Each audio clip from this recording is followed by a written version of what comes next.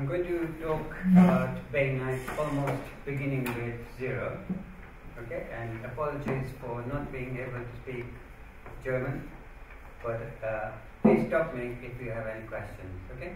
Now, if you look over here, there is a website listed, and on that website you will find a huge amount of information on everything that I'm going to talk about, including you can download a complete book free of charge on the bainite uh, bainite and steels. Okay, so there's about 600 pages of information there if you want. Uh, the reason I'm going to talk about bainite is, of course, you asked me to talk about it, but uh, in the last lecture, I will show you some material which might be of interest to you, which is uh, armor made from bainitic steel. Okay, so these are the three crystal structures of iron. Uh, you can see here body-centered cubic iron, which we call uh, ferrite, uh, face-centered cubic iron, which we call austenite, and hexagonal close-packed iron, which is um, epsilon. And epsilon iron occurs only at very high pressures. So we believe that it's there in the center of the Earth, for example, where the temperature is about 6,000 Kelvin and the pressure about 130,000 atmospheres. But it also happens in ballistic testing as a transient phase. Uh, when, when you have a very, very high strain rate, you can reach pressures which are extremely high. But the vast majority of uh, uh, steels consist of body-centered cubic iron or face-centered cubic iron, and this is the uh, phase diagram for pure iron, where we have uh, the ferrite stable at low temperatures and ambient pressure, and also at very high temperatures. So delta is nothing, is not different from alpha. It's basically body-centered cubic iron, but it then transforms into austenite as we cool the material and transforms back into body-centered cubic iron, and epsilon happens at very, very high pressures. So just in pure iron, we have three different crystal structures. And actually, you can produce six different crystal structures, but they are usually only there in very thin films or small particles. Okay, we can have tetragonal iron, uh, triclinic iron, and so forth. And of course, uh, iron on its own, it can be very strong, but you can get many, many more properties if we add carbon. So steel is a mixture of iron and carbon. Here we have a carbon atom in an octahedral interstice in austenite and an octahedral interstice in ferrite. The difference between these two is that here the hole is a regular hole. That means it's a regular octahedron. All the sides of the octahedron are equal in length. So the presence of the carbon causes a volume change and the volume change interacts very little with dislocations, so the strengthening caused by carbon in austenite is quite small. Here you can see that this octahedron is not regular. The distance in this uh, vertical direction is the lattice parameter, but the distance along the horizontal direction is root 2 times the lattice parameter. So the strain is tetragonal. And a tetragonal strain has a very strong interaction with dislocations. So carbon in ferrite causes enormous hardening, far more than carbon in austenite. And it's because the strain field here is not symmetrical. And this is the other common phase in steels, uh, a compound of iron and carbon, uh, cementite. So there, there are about 56 atoms inside the unit cell, it's a very hard and it can be a brittle phase. So sometimes you want to avoid it and I'll show you how to avoid the cementite later on. And in terms of the iron carbon phase diagram, uh, this is what it looks like uh, in the binary case. So this is just pure iron and pure carbon mixed. Of course, there is no steel that we use which only has iron and carbon typically there are something like 20 different solute additions inside the steel to control various properties. And I'll explain what they do. Now, given that just with iron and carbon we have all this complexity with many different phases, uh, you can control the structure by altering uh, the chemical composition, you can alter the temperature, the pressure, and so on. If I add more alloying elements, then there's a very large number of possibilities. And I can summarize the different, the major phase transformations that happen in steels in the next slide. And bear in mind that that slide doesn't include hundreds of other phase transformations involving precipitation reactions, many different kinds of carbides. Okay? So these are the major phase transformations that happen uh, in steels.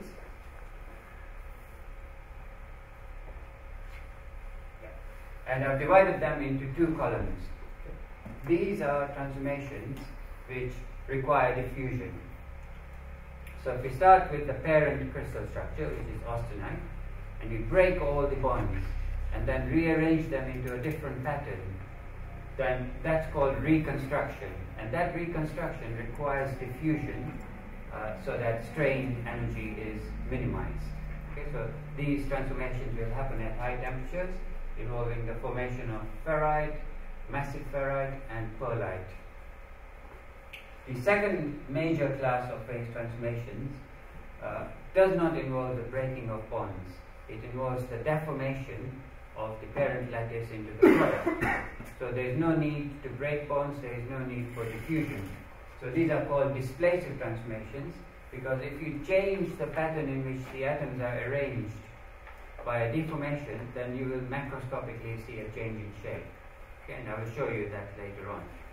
Now, remember that that change in shape is happening inside your steel, so it will cause a lot of strain energy. So these are strain energy dominated transformations. There's Widmanstätten ferrite, bainite, and martensitic transformations. Most people are very familiar with martensite because it's a completely diffusionless transformation. Uh, it's, it's simple in that sense. You know, there's no chemical composition change, and the crystallography is very well defined. And these are the transformations uh, which become difficult to interpret because they happen at temperatures where it's possible that there is some diffusion and some displacement. And I will, I will describe that shortly. So the basic uh, set of phase transformations represent the 1.4 billion tons of steel that we make every year. Okay, 1.4 billion tons. There's no other material produced in this quantity other than concrete. If you, if you look at titanium, there's about 60,000 tons produced every year, and aluminium will be approximately 70 million tons. And the only phase transformations that happen in aluminium are precipitation reactions. So, steels are extremely important in every aspect of life. I don't need to tell you that, but it's important that people realize there is enormous potential. You can get material which is just 50 megapascals in strength to something that's five and a half gigapascals in strength, commercially produced. Okay. Not in the laboratory. In the laboratory, we can get to strength of 10 gigapascals, but you cannot produce that on a large scale. Okay, so um, the crystal structures we have, uh, the most important ones are the body-centered cubic and the face-centered cubic. This is the parent phase which we obtain by heating to a high temperature, approximately 1000 degrees centigrade. And then depending on what we do from that temperature, the cooling rate, etc., uh, we will generate this structure in different ways. And the one that I'm going to focus on is displacive transformation. And just to illustrate what that means, imagine that we have this square pattern and I want to change it into a different crystal structure. Then I can do that by a physical deformation. Okay. So there is no breaking of bonds here. But you can see that the shape has changed. And you should be able to see that change in shape when you look at the steel. So the next movie that I'm going to show you you will actually see this kind of a shape change when the atoms change their pattern. So this, this is a real movie of the shape change happening when bainite forms. So here you see the austenite grain structure. Okay, and we are observing this using con confocal light microscopy, and you've got the temperature here. As, as I cool the material, you will see uh, shape deformation due to the formation of bainite. So, here. There is no etching involved here. These are displacements being produced on the surface of the steel when the bainite crystals form. So when I say it's a displacive transformation, I mean that you actually get displacements which are very large and which you can physically observe. So I explained there are two different ways in which the atoms move and I can illustrate that schematically over here. So ima imagine that this is our parent material and the atoms are arranged in this particular pattern and we have two different kinds of atoms, the square atoms and the round atoms. I can alter this pattern by physical deformation and there is no breaking of bonds so the composition of this region is exactly the same as the composition of this region. And I can say that this particular atom in the product phase came from this atom in the parent phase. So there is a one-to-one -one atomic correspondence, and therefore the product phase knows where the atoms came from in the parent phase. So if I reverse the transmission, I recover exactly the shape. And that is the shape memory effect that you might be familiar with. You, know, uh, you can, if you go forward and reverse through the phase transmission, then you recover the shape. Now, in the reconstructive transformation, you achieve the same pattern in which the atoms are arranged, but there is no macroscopic shape change because you can think of that as a transformation like this. You cut this triangle and you transport it onto this side. And that is the diffusion that's necessary to achieve the change in the crystal structure without a shape change. So there is very little strain energy associated with this transformation. And because we have diffusion, the chemical composition of this region is not identical to this, and you have lost the atomic correspondence. Now, the reason why I'm emphasizing the strain energy, you will see later, it helps to reduce the grain size enormously in the case of displacive transformations. The strain energy is so large that the crystals form extremely fine in size. Now, all of these transformations will have a certain rate at which they form. And the only reason why we get displacive transformations is because the rate of diffusion is slow at low temperatures. They are not uh, they are not thermodynamically favored because strain is you know something that you anneal out. So reconstructive transformations will happen in a thermodynamic context favorably compared with displacive transformations. Displacive transformations are non-equilibrium transformations. So if I look at a different kind of a diagram where I'm plotting the temperature and the time here, and I start with austenite at a high temperature and I rapidly cool it to this temperature and hold it, then I will get reconstructive transformation happening at this rate. Uh, in contrast, I have to undercool a lot more before I get displacive transmission because it only happens if diffusion is limited. And in iron, diffusion becomes difficult at temperatures below about 600 degrees centigrade. So displacive transmissions happen roughly at temperatures below 600 degrees centigrade. One more thing I'd like you to notice is that here we are plotting time as a logarithmic scale. Okay? And if I add manganese to steel, then I retard both sets of transformations because manganese stabilizes the austenite relative to the ferrite. It reduces the free energy change in going from austenite to ferrite. But the change here is much, much bigger than the change here.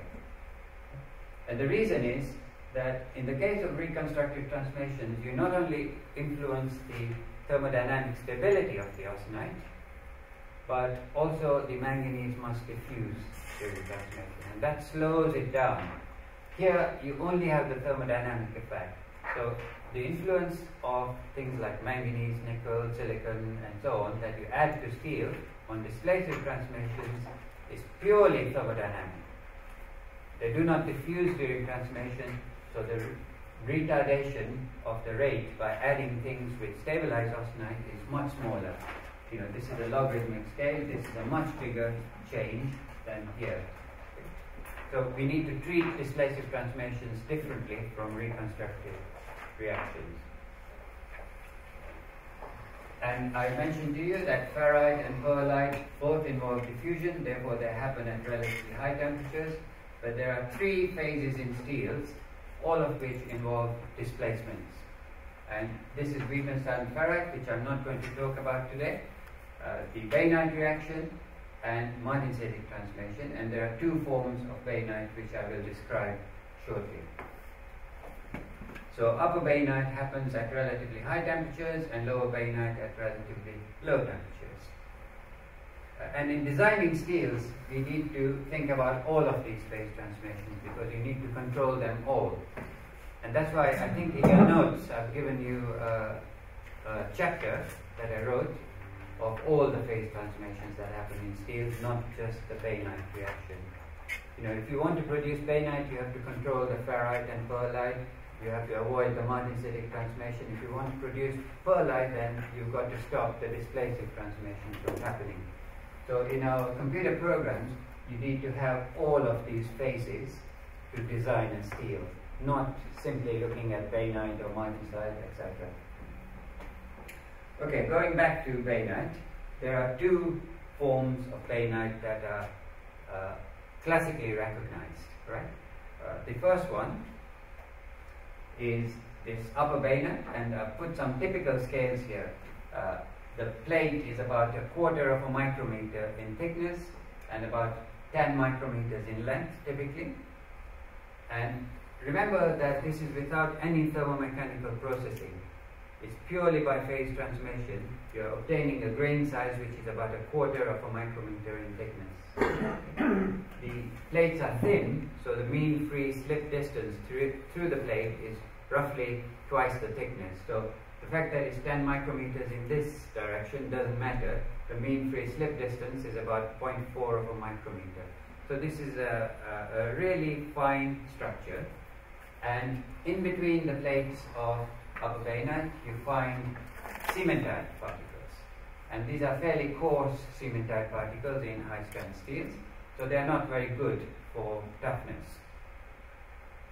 In lower bainite, if you look in a transmission electron microscope, because you know this this is uh, below the resolution of light.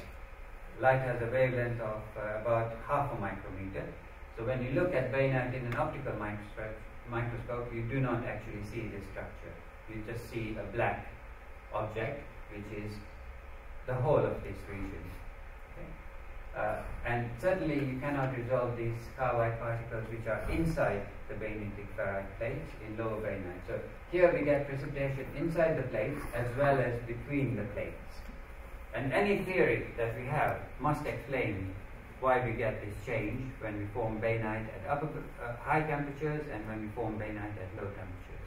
Um, uh, one question.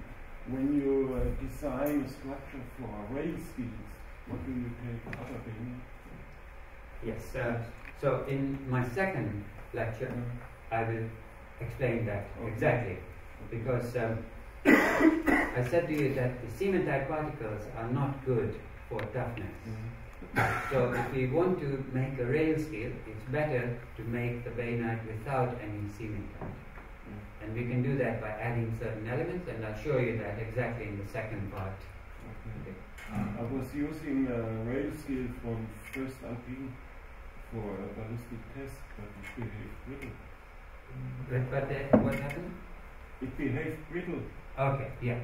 So exactly that point. That's a very good point, and uh, I'll come back to that. Okay. Yeah.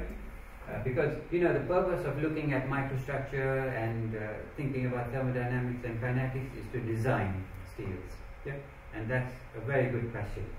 So I'm glad I mentioned that the cementite is not good for toughness if you are looking at very strong steels. Right, so any theory has to be able to explain these changes in structure. If I show you what this looks like in a transmission electron uh, microscope, then this is upper bainite. You can see these very fine plates of bainitic ferrite. Look at the sharp tips there. That's a consequence of displacive transmission. I'll show you why they are sharp. And in between the plates we have the cementite.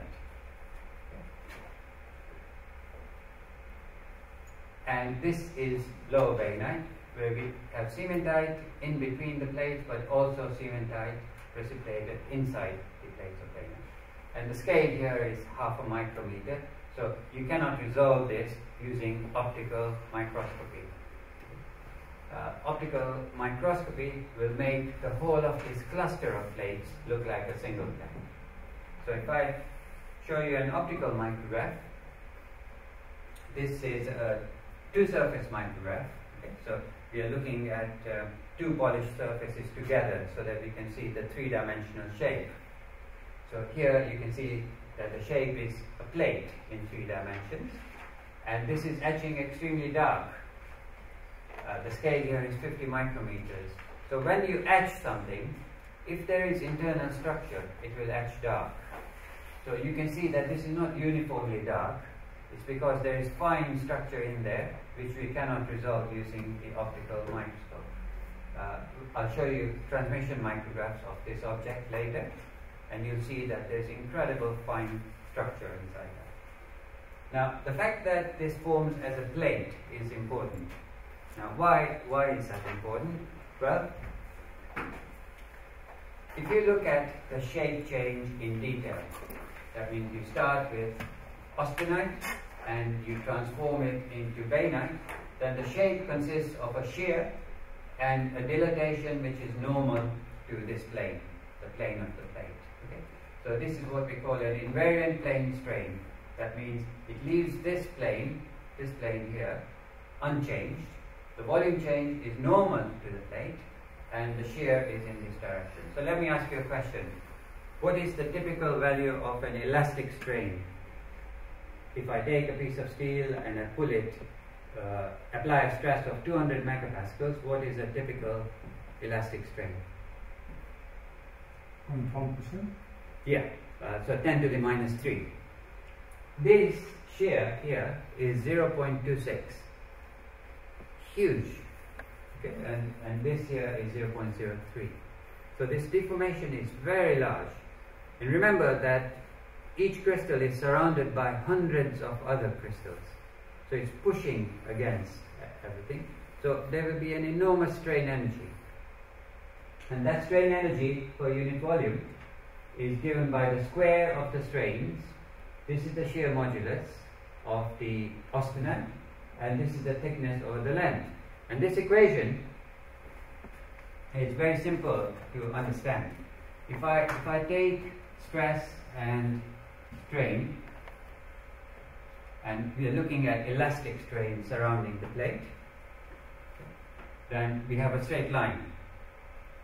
And the area under the curve is the strain energy. So it's uh, half sigma times epsilon. And if I replace sigma by the modulus times strain then that's equivalent to half uh, epsilon squared times the modulus. So you can see here we have the strain squared and the modulus. We don't have the half because this is a plastic strain. It's not an elastic strain. So really we should be looking at the area here. This is a permanent strain.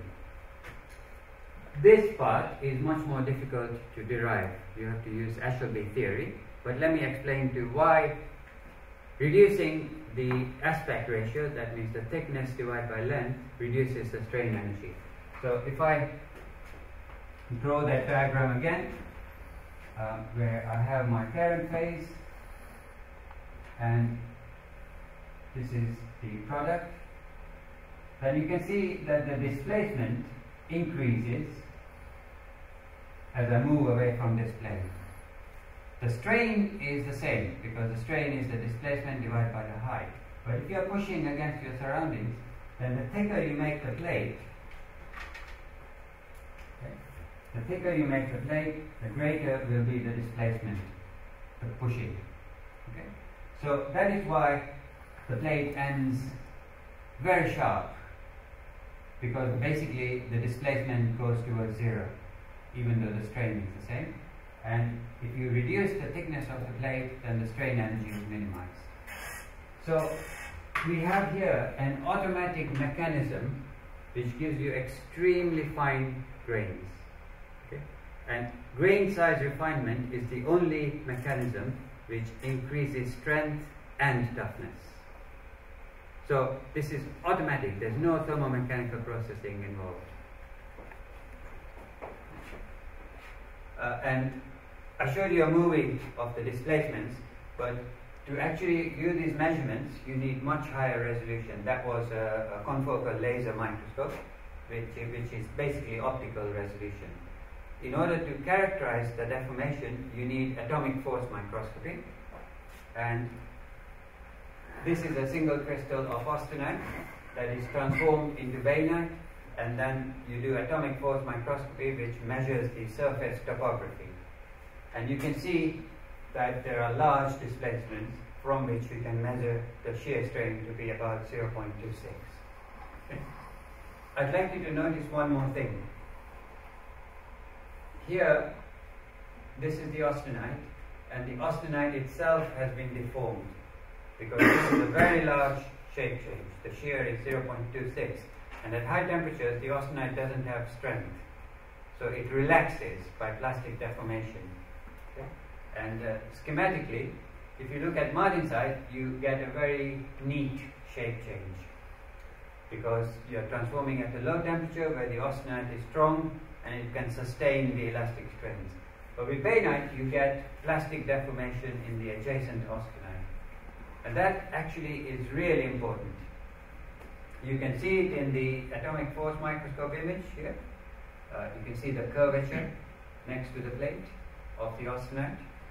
And if I do transmission electron microscopy of the interface between the bainite and the austenite, I will see enormous dislocation tangles. So this is the austenite and this is the bainitic ferrite. You can see huge dislocation density created at the interface. Now, why is this important? A displacive transformation is like slip. If you put obstacles in the way of slip, then it cannot progress, right? You know, you basically work harden the material. So if you put precipitates, etc., in the way of slip, then the slip is stopped. Similarly, these dislocations which are generated by the plate itself will stop the plate from growing. So, essentially, the interface between the bainite and austenite consists of dislocations. If I put obstacles in the way of those dislocations, then that interface will stop moving. These dislocations are glissile, that means that they can glide without diffusion. But if I put obstacles in the way, then they will not be able to move. So the plate generates the defects and then kills itself. It cannot grow anymore. So this is another mechanism of grain refinement inside material. If I deform the austenite plastically before transformation, that will also stop the bainite reaction. So here is an experiment in which we take a, a cylinder of steel and we compress it. So because of barreling, that means you know the sample is constrained at the grips, but then it grows in the shape of a barrel. You get strain gradients inside here, and you can work out what the strain gradients are. Here you have the largest strain, here you have the smallest strain. If you look at this region, you do not get bainite. Okay? So this is a, a, a micrograph showing you in this region you have very little bainite, in this region you have a lot of bainite. So you put plastic strain in the austenite, that retards the bainite transformation. So this is uh, called mechanical stabilization. and it works for all displacive transformations. You can retard martensite by putting dislocations in the parent phase or by putting precipitates in the parent phase. You can retard Widmanstätten ferrite by doing that as well. And it's, it's a very good method of distinguishing displacive and reconstructive transformations. Because in reconstructive transformations, if you deform the austenite, you actually accelerate the transformation because when the ferrite grows, it absorbs, the, uh, it destroys the dislocation. So there is a gain in free energy, exactly like recrystallization. Yeah, so in a displacive transformation, this interface is glissile. That means the structure of the interface allows the dislocations to move without diffusion.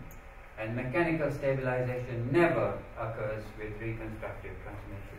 So you don't need transmission electron microscopy or anything fancy.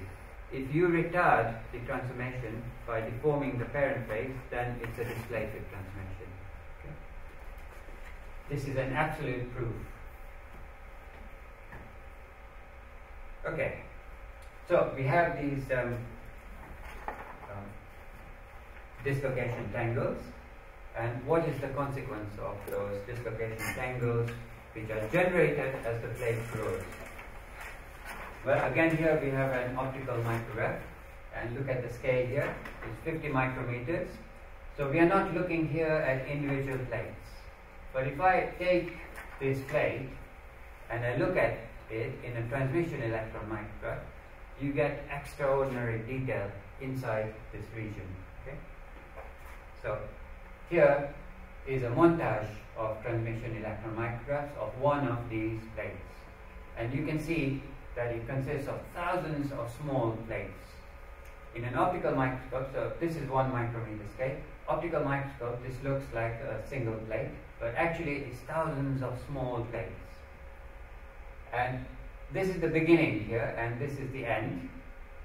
And you can see that the size of the plate is the same here and here.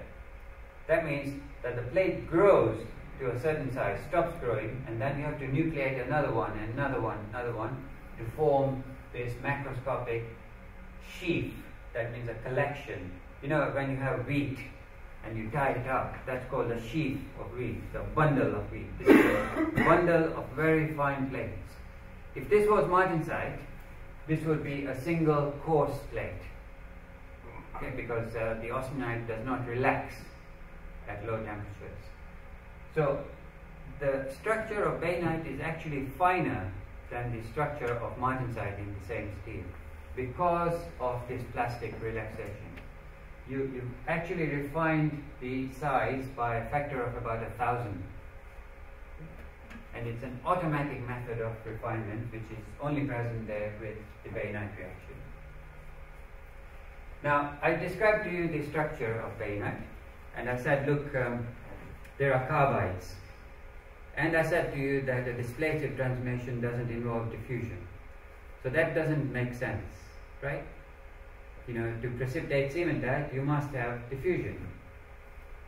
And yet, when we look at the shape change and so on, you've got displacements. So what's happening? Well, supposing that we look at the interface between bainite and austenite using an atom probe. An atom probe is an instrument where you can see individual atoms and you can identify what those atoms are. So here is uh, an image that I took in 1981. Now there are much, much more powerful instruments where you can get a three-dimensional structure.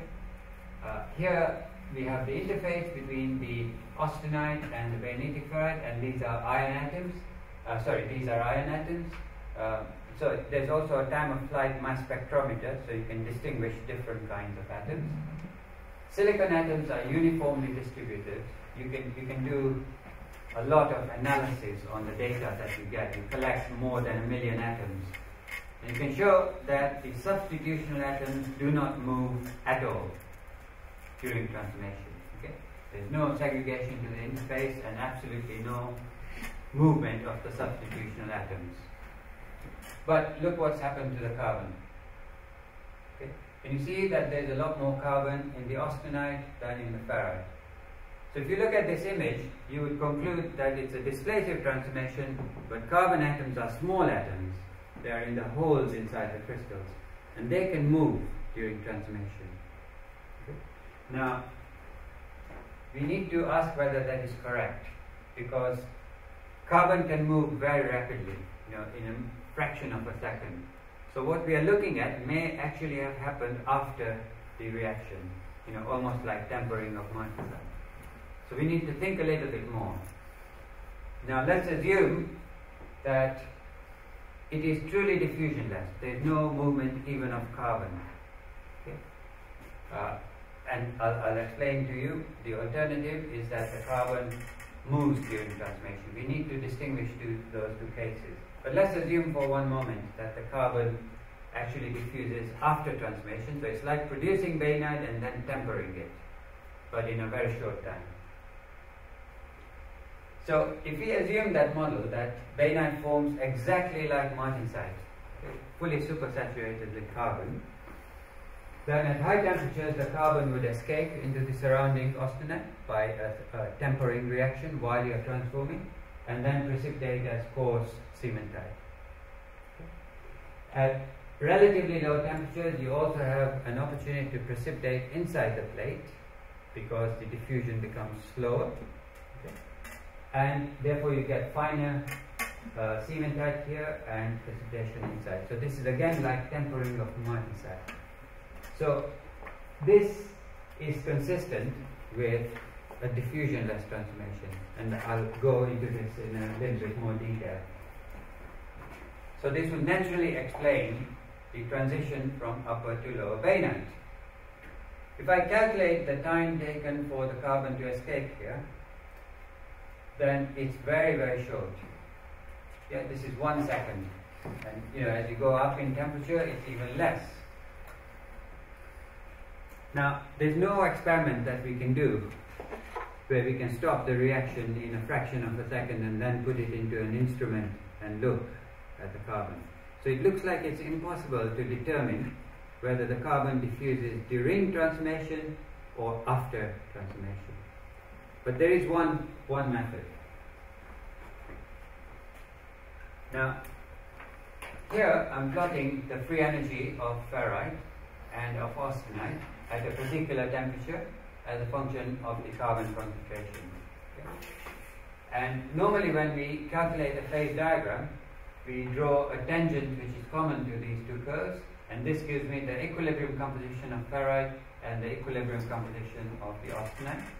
And if I do this as a function of temperature, then I get my phase boundaries, which were in the iron carbon phase diagram.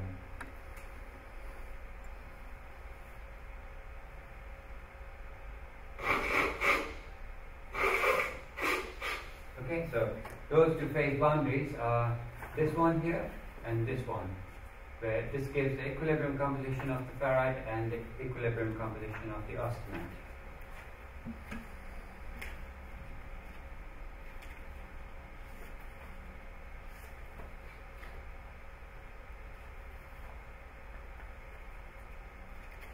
Okay, so these are the two phase boundaries that we are all familiar with and you'll find on all iron carbon phase diagrams. And the data for calculating these curves are, are widely available. Right? So you can download a computer program from my website and calculate these phase boundaries very easily as a function of many different alloying elements. But that's the equilibrium phase diagram. What you won't find on the equilibrium phase diagram is this line, which we call the T0 line. And the T0 line represents the locus of points where austenite and ferrite of the same chemical composition have identical free energy. If I have austenite of this composition, I cannot transform it to ferrite of the same composition because that would lead to an increase in free energy. On this side, I can transform the austenite into ferrite of the same composition with a reduction in free. So diffusionless transformation is impossible if the austenite has carbon concentration greater than T0. In principle, it's possible if the austenite has carbon less than T0. Is everyone happy with that? Okay. I will use this to design the rail scale. So you need to ask me a question if you don't understand this, okay? So the T0 line basically defines whether or not diffusionless transformation is possible. Right, so uh, here is the same diagram. This is the T0 line and this is the equilibrium line. And I have a scale of composition, uh, a carbon content X bar. Right? If I cool it to this temperature and allow bainite to form without diffusion, right? So I form a plate effectively of martensite, but then the carbon escapes from the plate. So the austenite becomes richer in carbon concentration. So the next plate forms from enriched austenite. This process can only continue until the composition of the austenite reaches the T0 line. So if it's diffusionless, the reaction will stop when the T0 line is hit. But if diffusion happens during transformation, then it will continue until this line. So by looking at the composition of the austenite at the point where the bainite reaction stops, you could decide whether it's diffusionless or whether diffusion of carbon happens during transformation. And of course, if I lower the temperature, I will get more more bainite. Okay? But you would still stop at this T0 line. So when you do that experiment, uh, of course, um, the reason why I'm using this dash over here is that in the calculations we must take account of the strain energy as well. You know, it's not an equilibrium transformation, so we have to modify the free energy curves to include the strain energy. And that's straightforward to do. Okay, so here are some measurements. And you can see the difference between the equilibrium line and the T0 or T0 dash line is very large. And that the reaction actually stops at the T0 line. So we can conclude from this that the transformation is diffusionless, completely diffusionless. Even carbon is not moving. But because it's happening at a high temperature, the carbon can escape and precipitate as cementite within the plates or between the plates. And we make the prediction from this that you know the rate of reaction, uh, the growth rate of the bainite plate must be much faster than carbon diffusion allows. Okay? And we, we can measure those rate, growth rates. And as I go up in temperature, I will get a lot less bainite until I reach the T0 temperature and then there will be zero bainite. Even though ferrite and pearlite can form, you will not be able to form bainite above the T0 temperature, okay, which is much less than the equilibrium temperature. So, as I raise the temperature, the transformation becomes zero volume fraction at the bainite start temperature. And the bainite start temperature is much less than the equilibrium temperature. So this is the only theory which will predict that the amount of bainite you get will become zero at a temperature of about 500 degrees centigrade. Of course, it depends on the steel composition, uh, but you can still get ferrite and pearlite, but you will not get bainite above the T0 temperature. Okay, so to summarize, the growth process is diffusionless and strain energy must be accounted for. It's quite a large term. So a typical um, free energy change for the formation of ferrite is about 40 joules per mole. The strain energy of bainite is 400 joules per mole. So you have to take account of that term. Okay. Uh, let's uh, let's uh, admit that is correct. And I said to you, we make some predictions. And the first prediction is that the growth rate of an individual plate must be much faster than carbon diffusion. Okay? So I'm going to show you a sequence of images taken at one second intervals in a photo emission electron microscope.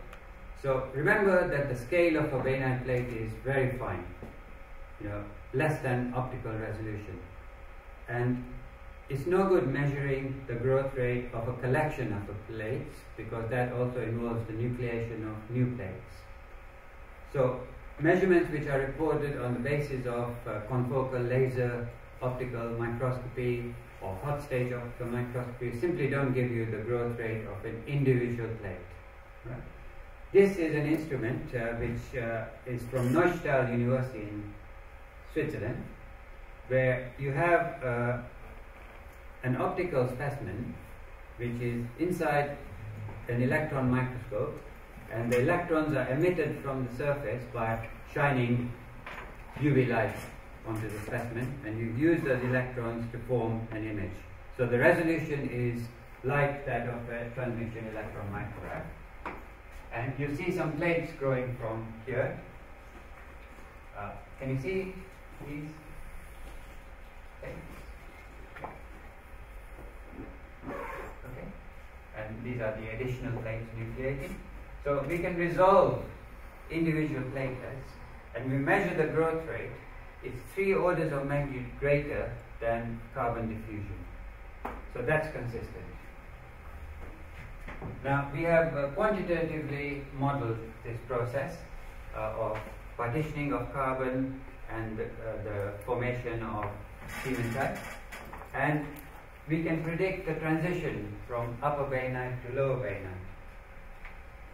When we did the work, uh, we did not believe these calculations for a long time because what this actually says is that in low carbon steels, I go from pearlite to upper bainite to martensite. There is no lower bainite. Okay, so these are calculations. In high carbon steels, I go from pearlite to lower bainite to martensite. There is no upper bainite. Whereas every single textbook, including my own in those days, said that you get pearlite, upper bainite, lower bainite, and then martensite. What this is saying is that you do not get lower bainite in low carbon steels, and you do not get upper bainite in high carbon steels. And there is a narrow region here where you go from pearlite to upper bainite to lower bainite and then martensite. So we didn't publish this for a while until we found evidence in the literature. So this is work by Oka and Okamoto for high carbon steels. And you can see you go directly from pearlite to lower bainite to martensite. Okay? And the reason is that there is so much carbon there that you will precipitate inside the plate. Yeah? If you have more carbon in the steel, it takes longer for it to escape from the plate, so there's an opportunity to precipitate inside the plate. And if you look at Ohmori and Honeycombe's work, for the low carbon region, you go from pearlite to upper bainite to martensite because there is so little carbon that you can escape before precipitation can happen inside the plate. So the model explains many, many things about the structure of bainite. And the mechanical stabilization that I talked about, that if you deform the austenite, then the reaction is retarded, that also can be dealt with quantitatively. Because we know that the structure consists of glissile dislocations and the interface is driven by the free energy difference between austenite and ferrite. So the stress which moves those dislocations comes from the undercooling of the austenite. Okay, so the shear stress comes from the fact that we have a free energy difference between the austenite and the ferrite, and that, uh, uh, that drives the interface. So the shear stress driving the interface is equal to the free energy change, and the resistance to the movement of the interface is provided by the dislocations that are generated in the austenite because of the relaxation of the shape chain.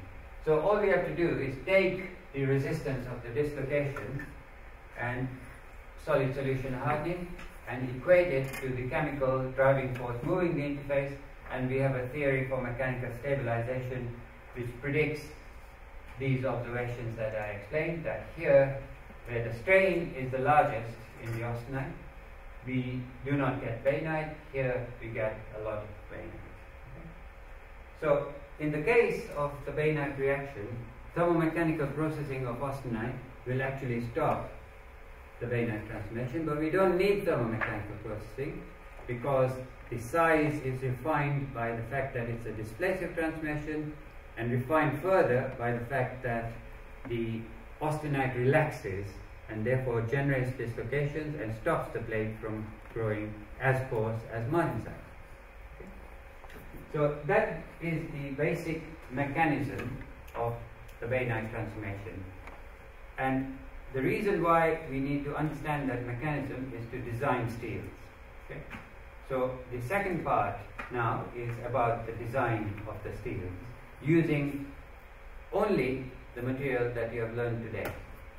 Okay? So you should be able to use this information to design steels. So do you have any questions before I go to the next presentation? One question. Yeah. How is the formation of self-tempered martensite different Yeah. from the formation of um, lower bainite? So uh, it is not uh, it is not different except in time scales Okay. and the relaxation process. Okay. So the martensite plates are generally coarser than bainite because they form at a relatively low temperature and therefore the amount of relaxation you get is smaller. And uh, also the rate of the reaction is larger because the relaxation of the austenite, even though the plates grow three orders of magnitude greater than carbon diffusion, martensite grows even faster because there isn't that relaxation. So anything that work hardens the austenite will make the plate grow slower. And if you don't have that work hardening, martensite will grow rapidly, so you transform a large region. Whereas in bainite, it's a, it's a steady process where you nucleate new, plate. Okay. If you remove carbon completely, there is no difference between bainite and martensite. And how does this explain the alignment of the cementite within the layer? Oh, so you've got this carbon escaping from the plate and then it precipitates on the sides of the plate. But in, in the upper bainite, so you have only under 60 degree the cementite particles within the layer. Or in the in the low bainite. And in, in the side, you have those. Yes, yes. And, and how is this? Yeah. So that's a very good question. So the question is as follows: that um, in the low bainite plate, the cementite precipitates like this, whereas if you temper martensite, you know you get a Widmanstätten array of cementite. So why is that? Yeah. So the cementite that forms during the tempering of martensite itself doesn't involve the diffusion of substitutional atoms. Yeah? So if you do an atom probe experiment, you find there is no partitioning or substitutional elements. Uh, therefore, it's influenced by the stress. So there is a lot of elastic strain around each one of these plates. If the driving force for precipitation is small, then only those cementite particles which comply with the strain are favored. But if the driving force is large, if I make lower bainite in a very high carbon, you will get this, this effect. Yeah. You.